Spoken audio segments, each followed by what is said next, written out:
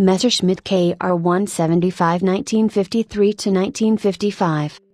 The Messerschmitt KR 175 microcar, 1953 to 1955, was the first vehicle built by Messerschmitt under its 1952 agreement with Fritz Fend. In concept, although not an actual design, it was an extended version of the Fend Flitzer invalid carriage. Approximately 15,000 were built before it was replaced by the Messerschmitt KR200 in 1956. Messerschmitt, temporarily not allowed to manufacture aircraft, had turned its resources to producing other products. In 1952, Fend approached Messerschmitt with the idea of manufacturing small motor vehicles. These were based on his Fend Flitzer invalid carriage. The first of Fend's vehicles to enter production at Messerschmitt's Regensburg factory was the KR175. The title Kabinenroller means scooter with cabin. While the Messerschmitt name and insignia were used on the car, a separate company, incorporated as Regensburger Stahl und Metallbaggen, was created to manufacture and market the vehicle.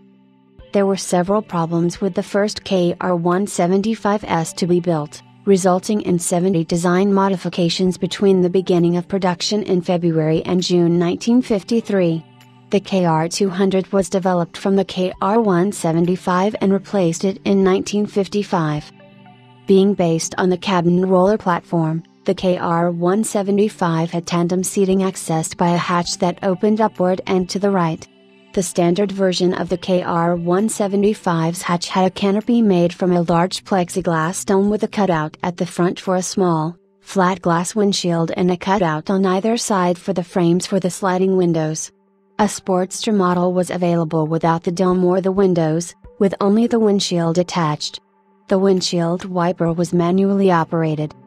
The KR175 ran on a 173cc, 10.6 cubic inches, Fichtel and Sachs air-cooled single-cylinder two-stroke engine positioned in front of the rear wheel, just behind the passenger's seat. The engine was started with a pull rope as standard, but there was an option of an electric starter. The electric starter became standard in 1954. The transmission was a sequential, positive stop type with four speeds and no synchronization nor reverse gear. The KR175 used the standard Kabinenroller steering system, with a steering bar connected directly to the track rods of the front wheels, providing an extremely direct response best suited to small, measured inputs. The KR175's steering bar was made from tubular steel. The gearshift lever, on the right side of the cockpit, had a secondary lever on it which operated the clutch. The throttle was operated by a twist grip on the left handlebar. The foot brake pedal, which was the only pedal in the car, operated brakes on all three wheels mechanically, using cables.